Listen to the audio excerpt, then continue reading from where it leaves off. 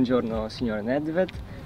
Eh, all'inizio soprattutto vorremmo ringraziarla per l'invito, è veramente un grandissimo, grandissimo onore per noi poter incontrarla personalmente e fare questa piccola chiacchierata e in seguito le nostre più sentite congratulazioni per essere diventato il vicepresidente della Juventus. Grazie.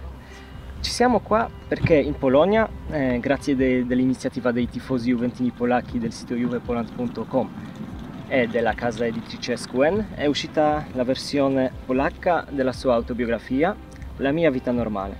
Allora, la prima domanda è, dopo una carriera antagonistica così stupenda e poi dopo diventare il vicepresidente della Juventus, lei è ancora convinto che la sua vita sia così normale? no, soprattutto grazie a voi. Essere venuti qua, accettare l'invito, ovviamente anche vi ringrazio per, la traduzione del mio libro nel vostro paese come Polonia, io ci tengo molto perché siete nostri vicini, perciò sono molto contento. La vita, sì, con tante sorprese, nel senso, ho giocato qua per questa maglia che ho ritenuto grandissimo onore perché è una maglia molto, molto bella, poter giocare per, per questa squadra da tantissime emozioni, poi ovviamente rimanendo qua nella società, poter, poter aiutare, poter lavorare ancora per me significa molto. E, eh, sono molto onorato ovviamente perché responsabilizzato molto un passo che ha fatto presidente a farmi diventare vicepresidente è una cosa molto grande mm, ne mi rendo conto allora oggi la normalità come la caratteristica personale sia nel mondo del calcio sia in generale sembra di essere sempre più rara sempre i giovani calciatori risultano ad essere grandi talenti, poi diventano subito famosi. Secondo lei un sviluppo così veloce mh, mm, della carriera di un giovane calciatore sia più un'opportunità o più un pericolo? Vuol dire una prova pesante del carattere del, di un giovane ragazzo? Per me il sviluppo di un ragazzo mh, mm, della sua carriera veloce non è un problema basta che si rimane nella normalità. Mm-hmm. Stiamo tornando nelle cose che magari ho, ho, raccontato sul libro. Bisogna rimanere nella normalità, vivere le cose quotidiane senza, senza eccessi, senza montarsi la testa, senza pensare di, di arrivare in tetto al mondo e, e fare, fare le cose sbagliate. Normalità credo che per questi ragazzi eh, se riescono a farla eh, diventano dei campioni. Lei il suo libro lo aveva scritto dopo aver finito la sua carriera. Sono già passati sei anni da quando Pavel Nedved ha smesso di giocare. Come è passato quello periodo? Come lei si trova fuori dal campo, ma sempre facendo il lavoro strettamente legato al calcio? Infatti io sono rimasto diciamo un anno fermo non, non facendo niente riposando, eh, recuperando le energie che ho speso, speso, durante la mia carriera. Poi è arrivato presidente che mi ha offerto l'opportunità di poter, di poter aiutarlo nella società io non me lo sono sentito dire di no perché è bello, ovviamente è bello di poter rimanere nel mondo del calcio e, e dare qualche esperienza ai, ai, ai ragazzi che stanno, che stanno crescendo nel modo mio, nel senso poter aiutarli di quello che magari uno, uno faceva che lo ha portato di, di, ottenere certi risultati. Perciò no, è molto, molto bello, anche se devo dire che inizialmente i primi anni erano molto difficili anche per me perché non, non è facile di, di, chiudere una carriera sul campo e passare subito a fare, fare un dirigente che credo che sia molto difficile, uno deve partire da zero e imparare, imparare nuove cose e piano piano fare la, la, la, carriera, la strada anche fuori dal campo. Io spero di, di, di sto migliorando e di, di riuscirci piano piano, a, piano, piano di, capire anche, anche le cose che servono fuori dal campo. Davanti ai nostri occhi le grandi leggende del calcio appendono le scarpe al chiodo. Abbiamo visto pure la fine de- della carriera sua siamo curiosi come lei valuta il, suo, il percorso della sua carriera? Percorso calcistico? Sì, percorso calcistico. Eh, percorso calcistico credo che sia stato un sogno che, che ho potuto vivere, che volevo giocare a calcio, volevo giocare per il mio club in Repubblica Ceca, poi volevo giocare per la mia nazionale, che erano dei sogni, sogni da bambino e alla fine ci sono riuscito ad andare anche all'estero, a giocare per un club, uno dei club più forti del mondo e, e ottenere risultati insieme ai miei compagni qui. Perciò io lo definirei un sogno, un sogno di, di un ragazzo che è partito da una, una cittadina in Repubblica Ceca e è potuto, potuto fare, chiamiamolo lavoro, ma d'altra parte è un, un bellissimo divertimento per me che ho potuto fare. Ma se avesse potuto tornare indietro nel tempo, come al film Ritorna al futuro, che cosa avrebbe detto a piccolo Pavel Nedved che stava per affrontare la realtà calcistica? Di viverla esattamente come ho vissuta io, senza, senza pensarci eh, troppo e, e, scendere sul campo a fare quello che, che, ti piace di più, di calciare in porta, di allenarsi ogni giorno, di, di, di stare insieme ai tuoi compagni, di divertirsi. Solamente questo credo che dovrebbero avere in testa piccoli calciatori che crescono adesso. È l'unica strada da, da perseguire e da poter migliorare. E io dico che più si sta sul campo, più si impara, più si migliora, perciò solo lavoro che ti porta ai risultati. Lei da sempre aveva gli ottimi rapporti con i tifosi, eh, lo sottolineava anche qualche volta nel suo libro.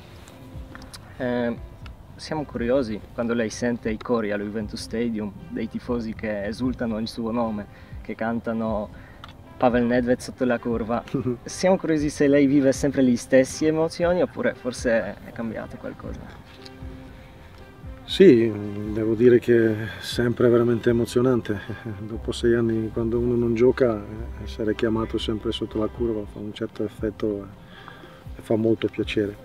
Ovviamente io sono venuto sempre dai tifosi molto volentieri perché io ritengo calcio uno sport che ha bisogno dei, dei tifosi, che, che, la gente venga allo stadio, che si giochi per loro. Questo secondo me non, obbligo di nostro, di nostro sport a coccolarsi, coccolarsi, tutti i tifosi. Eh, credo che, che, è molto bello questo.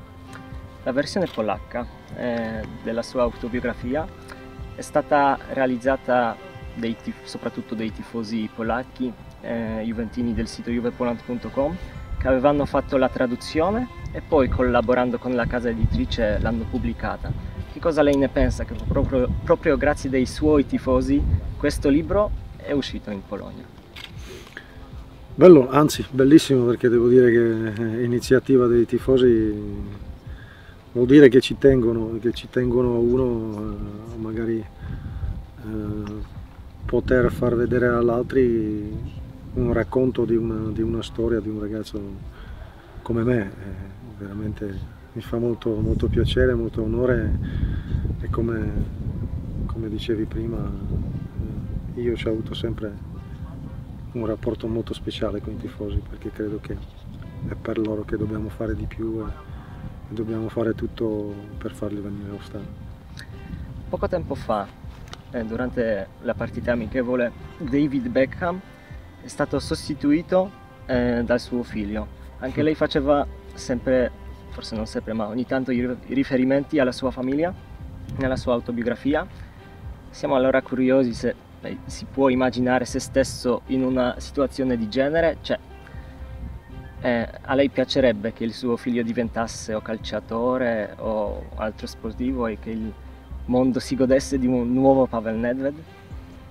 Eh, dobbiamo trovare dall'altra parte, credo che mio figlio non, non, farà calciatore, ma io sono contento lo stesso, io uh-huh. credo che io devo far diventare mio figlio un, un, bravo uomo, un bravo ragazzo che tutti apprezzino per, per come è, no? non perché sia un calciatore però devo dire che è stato molto bello, per esempio per David Beckham sicuramente poter essere sostituito da, da tuo figlio, secondo me che è stata per lui una grandissima emozione, questo è sicuro.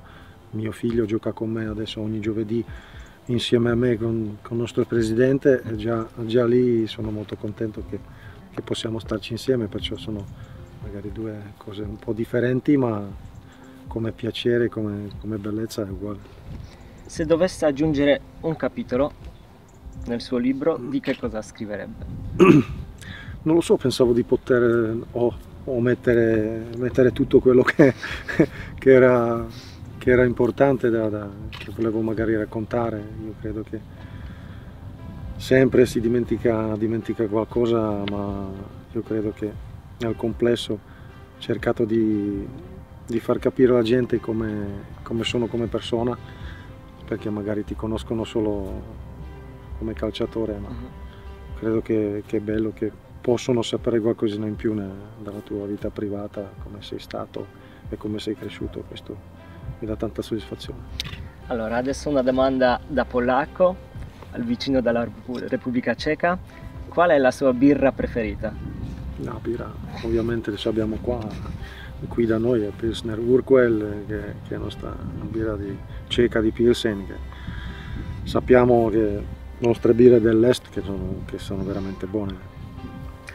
Eh, ma lei è mai stato in Polonia? Ha conosciuto qualsiasi polacco tranne il papà Giovanni Paolo II? No, questo è stato...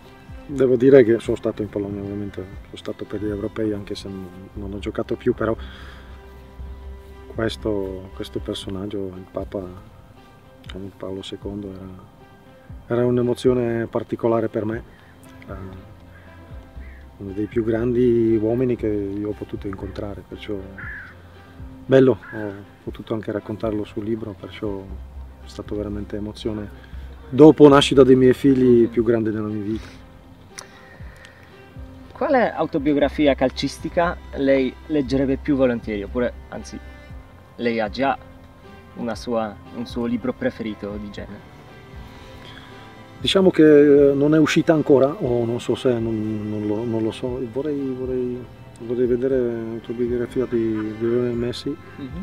perché ritengo che vincere quattro palloni, forse cinque palloni d'oro, è una cosa che non, che non riesco ancora bene a capire come, come ha potuto fare. Sì, mm, sarebbe molto interessante di poter leggere un suo libro. Allora, grazie mille per l'incontro, è stato un grandissimo piacere. Le mandiamo tantissimi saluti dai tifosi juventini polacchi del sito juvepoland.com e della casa editrice SQN e in bocca al lupo per la sua nuova carica. Sì, grazie, grazie mille a voi, essere venuti.